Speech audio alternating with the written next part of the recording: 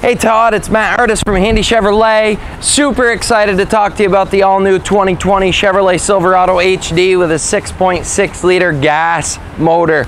Um, the upgrade from the 6.0 to the 6.6 has been tremendous. The feedback from our customers has been tremendous. And some people have even said, since they've driven this, that it rides better than a half ton. Um, that's yet to be seen as this truck's got to be proven. Um, but as far as testing goes in GM, they have tested this. They have pushed it to the max. They even put the hood scoop on here to give you a little bit more air under the hood.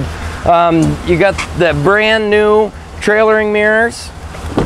It's got an all new inlay of the dash, all the options, the, and the entire truck has been totally redesigned. The cab's been expanded by about three inches of leg room in the rear seats, which is fantastic. Um, the front gives you tons of storage and room as well. Here's a quick shot of the back seat. I mean, obviously we're gonna talk to you a little more in detail when you come into the dealership. Um, new corner step bumper step for the front of the bed, which is the newest advancement on the overall appearance of the truck. And you get a six and a half foot bed.